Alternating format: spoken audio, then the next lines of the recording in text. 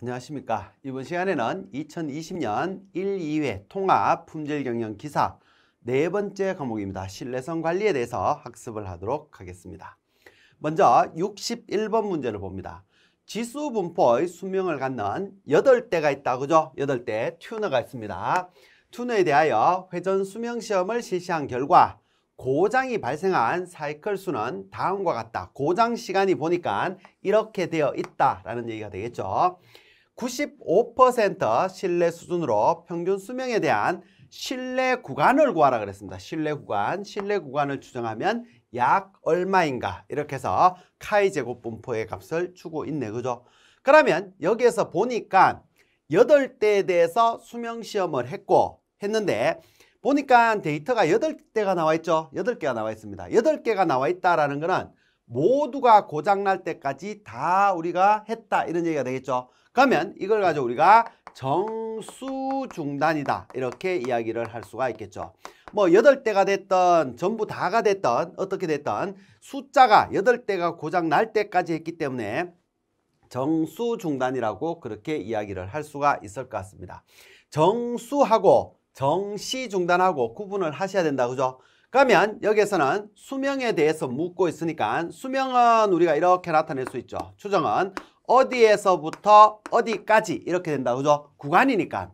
구간을 추정하는 거니까 어디에서부터 어디까지 이렇게 되는데 기본적으로 뭐냐 하면 여기에서 양쪽은 우리가 ET의 값이 들어간다. 그죠? 여기에서도 ET의 값이 들어가는 거고 그러면 어디에서부터 어디까지 이렇게 되니까 이쪽은 왼쪽은 작은 값이 될 것이고 오른쪽은 큰 값이 되겠죠.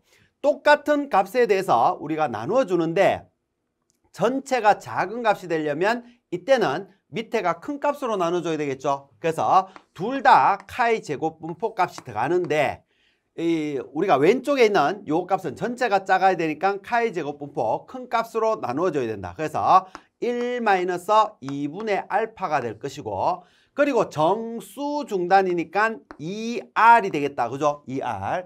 만약에 정시 중단이었다 그러면 2R 플러스 2 이렇게 되는 거죠. 구분하셔야 됩니다. 그리고 뭐냐면 여기에는 작은 값으로 나눠줘야 되니까 2분의 알파가 들어갈 것이고 똑같이 2R 이렇게 해서 구할 수가 있다. 이렇게 생각하시면 될 것 같네요. 그러면 여기에다가 이제 넣어주면 된다. 그죠? 넣어주면 되는데 세타의 추정치는 얼마부터 얼마까지인데 t가 얼마냐면 시간을 총 시간을 얘기하는 거니까 이거 8개 데이터 다 더해주면 되겠죠? 다 더해주면 됩니다. 그러면 다 더하면 얼마가 나오냐 하면 2 곱하기 t니까 2 곱하기 이 8개의 데이터 다 더하면 669, 669 그리고 얼마가 나오냐면 369, 360이 나옵니다. 360 669, 360 이렇게 나올 거예요. 그죠? 이걸 나눠준다. 여기서도 똑같겠죠? 2 곱하기 똑같은 값이니까 669, 360 이렇게 들어갈 것이다 라고 보시면 되겠고 그러면 여기에서 어떻게 되냐면 몇 퍼센트라 그랬죠? 95%라 그랬잖아. 그죠? 그러면 알파 값이 0.05가 될 것이고 알파에다 0.05를 넣으면 여기서는 카이의 제곱에 0.975가 되겠죠. 그리고 R은 8개였으니까 8이 16 이렇게 해서 16의 값이 들어갈 것이고 여기에는 뭐냐면 2분의 알파니까 0.025가 되겠네. 그죠? 0.025에 그리고 어, 여기서 2R이니까 어떻게 28이 16, 16의 값이 들어갈 것이다. 그러면 여기에서 주어진 게 이제 우리가 카이 제곱 분포 값은 0.025에 16의 값이잖아. 그죠? 그러면 6.91이 되겠네요. 여기에다가 6.91을 넣으면 될 것이고 그리고 여기에는 0.975에 16이기 때문에 여기에는 얼마? 28.85 28.85 이걸로 나누어 주면 되겠죠. 그러면 나눠주면 어디에서부터 어디까지 하한과 상한을 여러분들이 구할 수가 있을 것 같습니다. 계산은 여러분들이 직접 해보시면 될 것 같네요. 그죠? 그리고 62번 문제를 보도록 합니다. 이거는 공식에 관한 문제다. 그죠? 공식을 여러분들이 이제 알고 있느냐 뭐 이런 얘기가 될 것 같습니다. 어, 다음 기호를 사용하여 신뢰성의 척도를 구하는 방법으로 틀린 것은 이렇게 돼 있다. 그죠? 틀린 것은 여기서 우리가 RT라는 거는 신뢰도를 얘기하는 거죠. 신뢰도.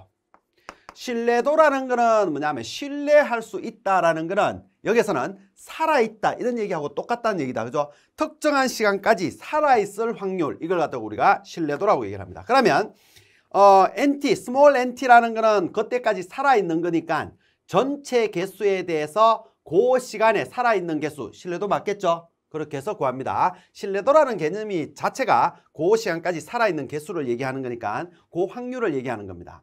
그리고 뭐냐면 FT는 1-RT 맞죠? 왜 그러냐면 요거는 우리가 FT에다가 RT를 더하면 이 값이 얼마? 1이 나와야지. 전체가 100% 아니에요. 이해되겠죠? 그렇기 때문에 여기에서 이쪽으로 넘기게 되면 FT는 1-RT 이렇게 구할 수가 있고 이거는 틀렸다 그죠? 이렇게 나타내면 안 되죠? 람다 T 고장률이라는 거는 뭐냐면 FT를 바뀌었습니다. RT로 나눠줘야 되죠? 이렇게 뭐 해서 틀렸다 이렇게 생각하시면 될 것 같고 그리고 FT는 소문자 FT는 어, 여기서 마이너스 우리가 RT를 미분했는 값이다 이렇게 돼 있는데 요거는 어떤 개념이냐면 우리가 기본적으로 FT라는 거는 소문자 FT는 대문자 FT를 어떻게 미분했는 겁니다. 알죠? DDT 이렇게 나타낼 수가 있겠죠. 미분한다는 의미입니다. 미분한다. 대문자 FT를 미분하면 소문자 FT가 나옵니다. 근데 이걸 다시 나타내게 되면 DDT인데 FT는 여기에서 보면 1-RT라고 나타낼 수 있었잖아요. 그죠? 그러면 이걸 넣게 되면 넣게 되면 1-RT 이렇게 나타낼 수가 있고 이해되겠죠? 이렇게 나타낼 수 있습니다. 그러면 이걸 다시 뜯어보게 되면 여기서 어 여기서 1 1은 미분하면 1이라는 상수값은 제로가 돼버립니다.